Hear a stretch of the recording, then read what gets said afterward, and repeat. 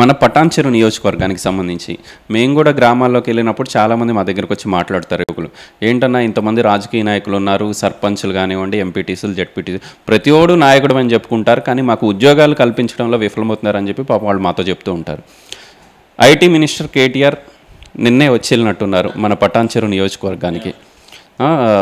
వందల ఉద్యోగాలు ఇప్పిస్తాం వేల ఉద్యోగాలు ఇప్పిస్తామని చెప్పి గతంలో కూడా ఆయన హామీలు ఇచ్చారు. ఎట్లా వస్తున్నాయి ఆ ఉద్యోగాలు? ఇక్కడ నాయకులు ఏం చేస్తున్నారు?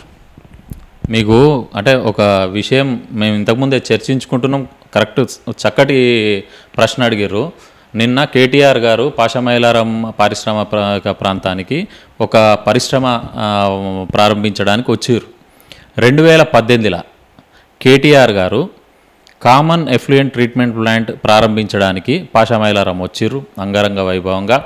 ఊరు నిండా హైదరాబాద్ నుంచి దాకా ఫ్లెక్సులు హంగామా అంతా ఇనాగ్రేట్ చేసిర్రు. వెళ్ళిపోయారు ఇనాగ్రేట్ చేసిన సందర్భంలో ఆయన స్థానిక పారిశ్రామికవేత్తలు ఆయనతో ఏమన్నారంటే మా దగ్గర విపరీతమైనటువంటి ఉద్యోగ అవకాశాలు ఉన్నాయి ఉద్యోగం చేయడానికి ఉద్యోగస్తులు దొరకట్లేదు అనే ఒక మాట మాట్లాడాడు.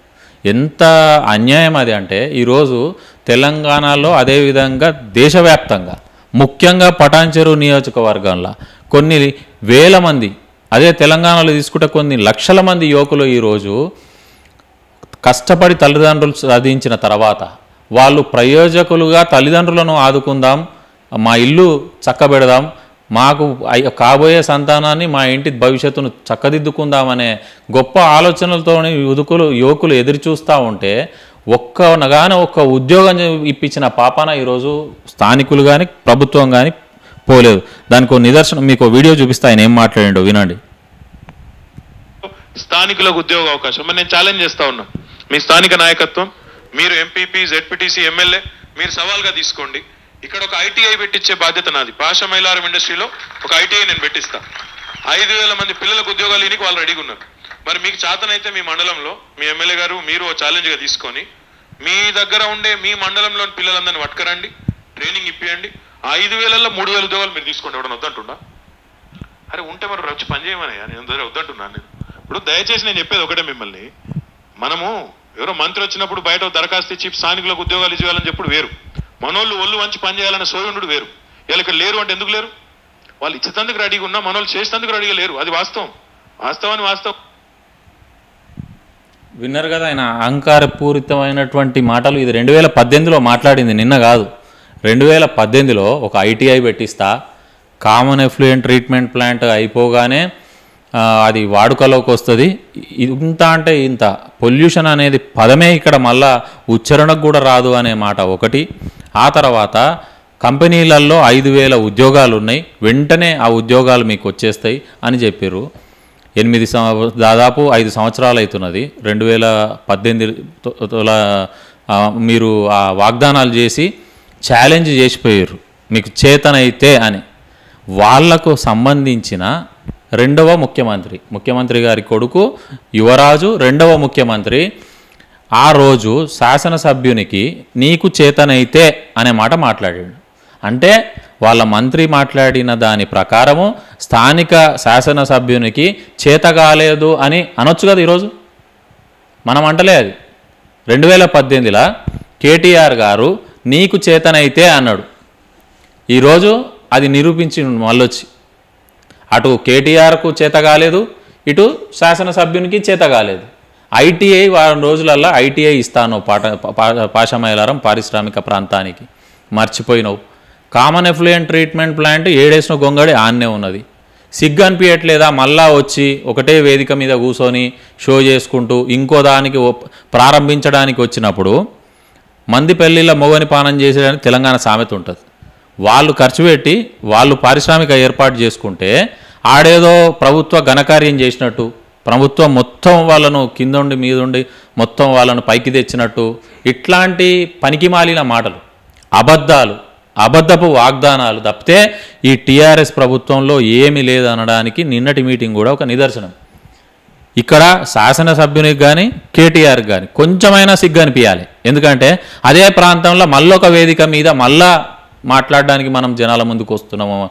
గతంలో మూ- నాలుగు సంవత్సరాల కింద ఇక్కడ చేసిన వాగ్దానాలు మనం యువ యువకులకు ఏదైతే వాగ్దానం చేసినామో అది నెరవేర్చలేకపోయినాము అనేది.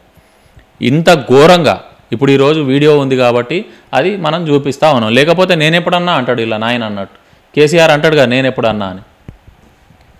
ఇంకొక మాట నిన్న అదే వేదిక మీద నుంచి కేటీఆర్ గారు చాలా స్పష్టంగా చెప్తూ ఉన్నారు. స్థానిక ప్రజాప్రతినిధులు కూడా అదే చెప్తున్నారు. పరిశ్రమల వాళ్ళకి ఇక్కడ వేధింపులు ఉండవు. ఎవరైనా వచ్చి చక్కగా పరిశ్రమలు పెట్టుకోవచ్చు.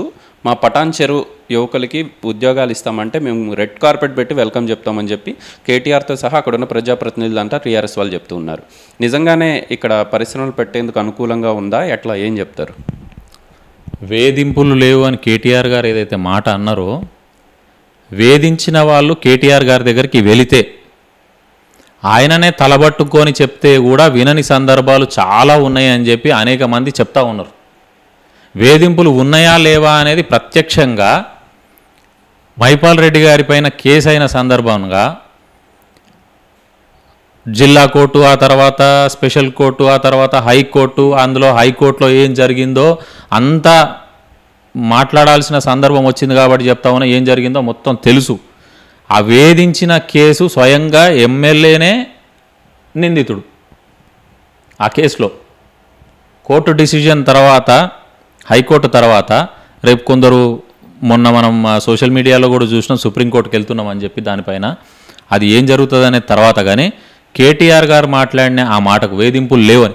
వేధింపులు పటాన్ చెరువు నియోజకవర్గంలో ఉన్నన్ని వేధింపులు అది ఎవరికి చిన్న చిరు వ్యాపారస్తుని దగ్గర నుంచి మొదలు పెడితే ఆయన రియల్ ఎస్టేట్ వ్యాపారి కావచ్చు స్కూళ్ళు నడుపుకునేటోళ్ళు కావచ్చు కాలేజీలు నడుపుకునేటోళ్ళు కావచ్చు పరిశ్రమలు నడుపుకునేటోళ్ళు కావచ్చు ఏదైనా వ్యాపారాలు చేద్దామని ఇతర ప్రాంతాలకి నుంచి వచ్చిన వాళ్ళు కావచ్చు. ఇక్కడ మైపాల్ రెడ్డి గారు క్రెషర్ నడిపిస్తారు. సాటి క్రెషలు నడిపించేటోళ్ళను ఎంతమందిని వేధిస్తున్నాడు అనేది ఒక్కసారి గుణమే చేసుకొని ఆయన చెప్పానండి. ఆయన నమ్మే దేవుడి పైన ఒట్టేసి చెప్పమనండి. నేను వేధించట్లేదు. నా కుటుంబ సభ్యులు వేధించట్లేదు. ప్రజాస్వామ్యంలా రాజ్యాంగబద్ధంగా న్యాయంగా ధర్మంగా మా సంపాదన మేము చేసుకుంటా ఉన్నాం జీవిస్తూ ఉన్నాము అని చెప్పి ఆయనను గుణమే చేసుకొని చెప్పమనండి చూద్దాం. తెలంగాణలో నాకు తెలిసి ఇక్కడ వీళ్ళు చేస్తున్నటువంటి వేధింపులు ఇంకెక్కడా లేవని నిరూపించడానికి వంద ఎగ్జాంపుల్స్ ఉన్నాయి. మేము చెప్తాం అవి చెప్పమంటే. గతంలో జెడ్పీటీసీగా చేసిన అనుభవం ఉంది.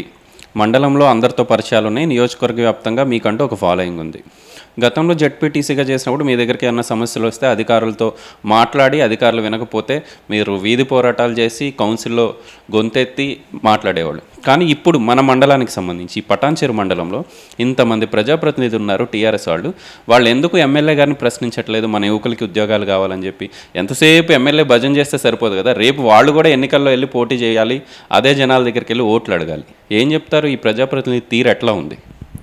ప్రజల చేత ఎంతో నమ్మకంతో ఎన్నుకోబడ్డ తర్వాత ఎమ్మెల్యే గారి అణచివేత ధోరణి కావచ్చు ఆయన చేస్తున్నటువంటి ఒక దారుణమైన పద్ధతులు కావచ్చు కొందరు అక్కడ ఇక్కడ అంటే మనం ప్రజాప్రతినిధులుగా ఉన్న వార్డు మెంబర్లను సర్పంచ్లను ఎంపీటీసీలను అదే రకంగా మున్సిపల్ చైర్మన్లను కౌన్సిలర్లను తప్పు పట్టలేకపోతున్నాం ఎందుకంటే ఎమ్మెల్యే వ్యవహార శైలి ఆయన ఘోరమైన ప్రవర్తన ఆయన మాట తీరు ఆ దుర్భాషలాడే తీరు ఆ దానికి వాళ్ళు ఎదురుగా నించొని మాట్లాడలేకపోతారు ప్రజలకు న్యాయం చేయలేకపోతా ఉన్నారు.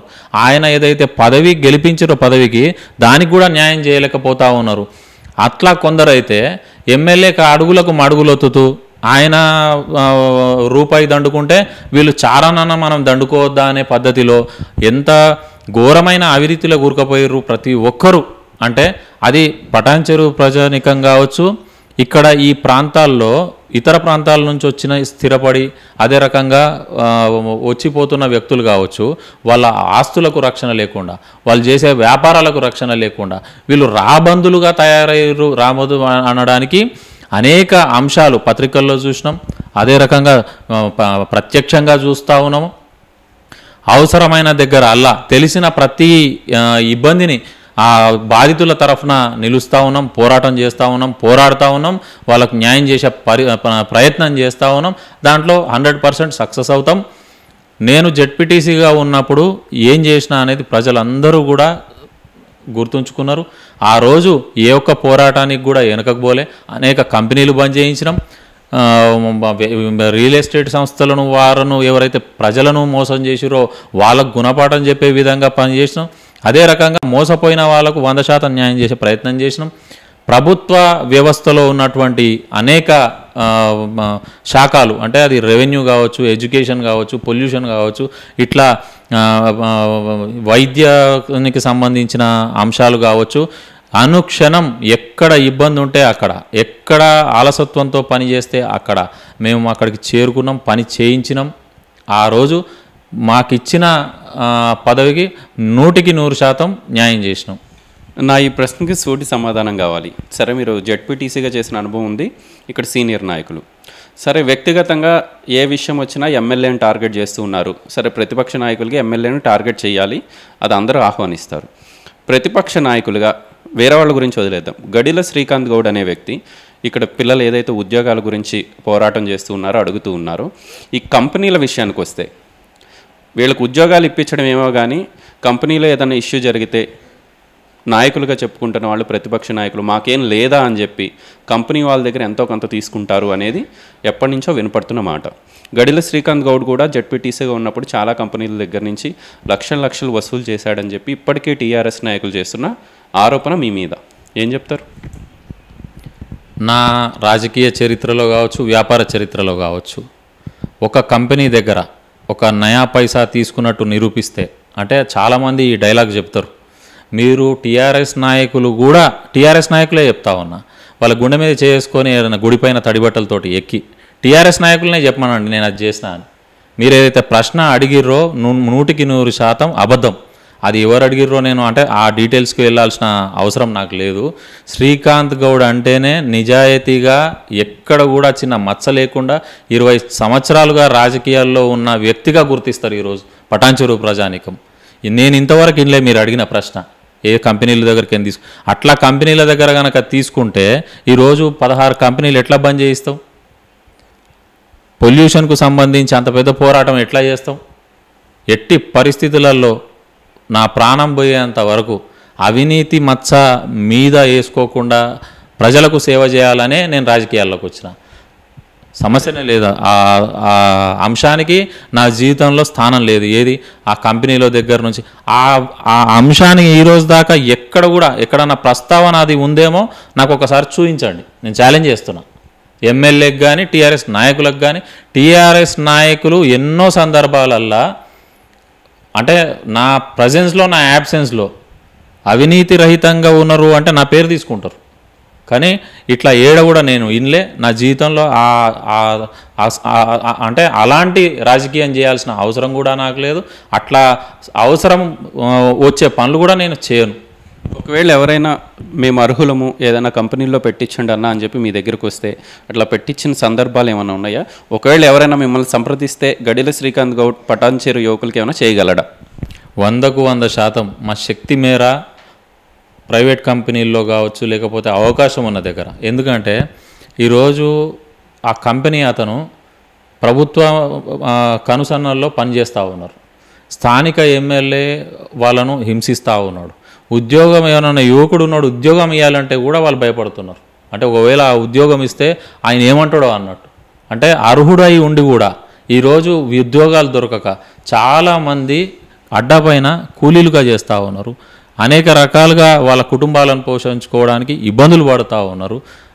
మా దగ్గరికి ఎవరైతే ఉద్యోగ అవకాశం అవసరాల కోసం లేదా ఆ కుటుంబ ఇబ్బందుల కోసం వస్తారో ఖచ్చితంగా ఒకవేళ ఉద్యోగం దొరకకపోయినా చిన్న చిన్న వ్యాపారాలు పెట్టియడం కానీ లేకపోతే వాళ్ళు ఏదన్నా వాహనాలు నడుపుకుంటాం దానికి సహకరించండి అంటే అలాంటి పరిస్థితులకు కానీ లేకపోతే వేరే ప్రాంతాల్లో ఉద్యోగాలని అక్కడికి వెళ్ళి చేసుకుంటామంటే మనకు తోచిన సాయాన్ని ఖచ్చితంగా చేస్తూ ఉన్నాం.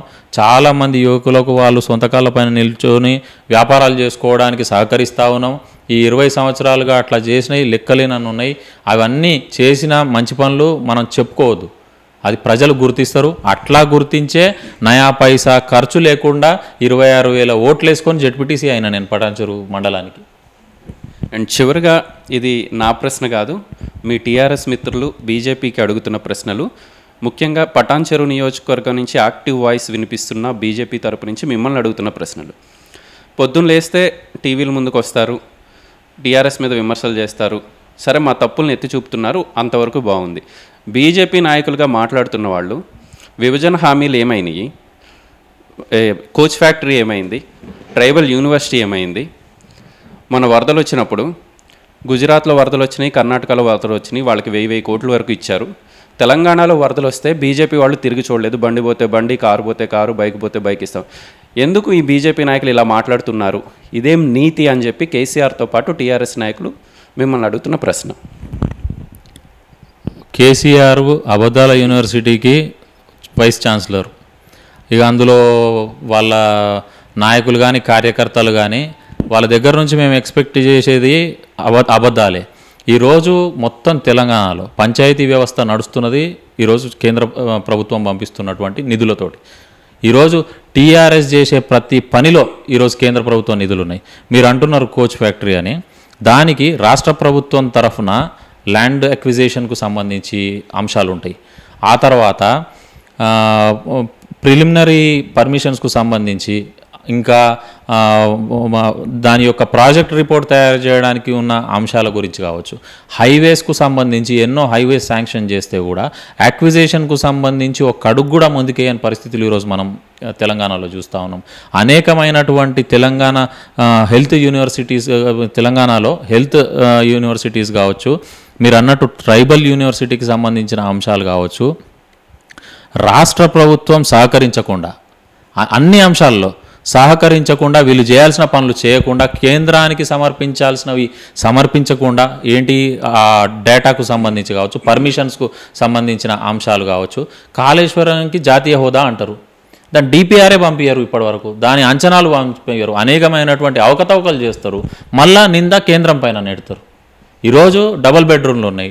ఇంతవరకు లెక్కలు పంపి అని పాపన పోలేరు వీళ్ళు.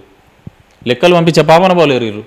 ఇప్పుడు ఒకసారి అమౌంట్ రిలీజ్ అయిన తర్వాత దానికి సంబంధించి క్లియర్గా లెక్కలు పంపించిన తర్వాత మళ్ళా ఫండ్ రిలీజ్ అవుతుంది నువ్వు ఈ రోజు దాకా లెక్కలే పంపించకుండా కేంద్రాన్ని నిందిస్తావు. ప్రతి అంశంలో అది ఒడ్ల కొనుగోలు కావచ్చు ఇలా మొన్న మొన్నటికి మొన్న రైస్ మిల్లర్లు ఇబ్బంది పడతా ఉన్నారు అని చెప్పి అంటే పీయూష్ గోయల్ గారు కూడా వాగ్దానం చేయడం జరిగింది. ఒక గింజ మిగలకుండా కొంటామని చెప్పి. మీరు నిందించడం తప్పితే అబద్ధాలు మాట్లాడడం తప్పితే చేసిన పనిని ఒక్క దాన్ని కూడా ఈరోజు మీరు ప్రజల్లోకి తీసుకుపోతనే లేరు. రేషన్ ఎవరిస్తున్నారు? రాష్ట్ర ప్రభుత్వం ఇస్తుందా? కేంద్ర ప్రభుత్వం ఇస్తుందా? ఏమన్నా అంటే గుజరాత్లో అట్లా జరిగింది తెలంగాణలో ఇట్లా జరుగుతుంది. ఇప్పుడు నువ్వు ధనిక రాష్ట్రం తెలంగాణ ధనిక రాష్ట్రం. ఈరోజు వరకు రాష్ట్ర ప్రభుత్వ ఉద్యోగులకు సగం కంటే ఎక్కువ జిల్లాలో జీతాలు రాలేవు. నువ్వు గ్యాస్ సిలిండర్ ధర పెరిగింది అంటావు. గ్యాస్ సిలిండర్ ధర పెరిగినప్పుడు ఈరోజు సామాన్యుడు ప్రశ్నిస్తూ ఉన్నాడు. బస్ ఛార్జీలు డబల్ చేసినావు కరెంట్ ఛార్జీలు డబల్ చేసినావు. కొన్ని కొన్ని సందర్భాలలో మనం రోడ్డు పైన వెళ్తుంటే ట్రాఫిక్ చాలాల రూపంలో ట్రాఫిక్ పోలీసులు మధ్యతరగతి వాహనదారులను నిరుపేద వ్యాపారాలు చేసుకుంటూ వాహనాలు అవసరం కదా? వాహనాలలో పోయే ఆ వాళ్ళ అవస్థ చూస్తే వర్ణనాతీతం. వాడి దగ్గర పాపం జేబులో పెట్రోల్ కూడా డబ్బులు ఉండవు. వాడి దగ్గర నుంచి రెండు వేలు మూడు వేలు చాలానాల రూపంలో రోడ్డు పైన నించోబెట్టి ఇట్లా నేను చెప్తా ఉన్నా ఇంతకుముందు మనం వేదాలలో చదువుతుంటాం రాక్షసులు ఏ విధంగా ప్రవర్తిస్తుండను.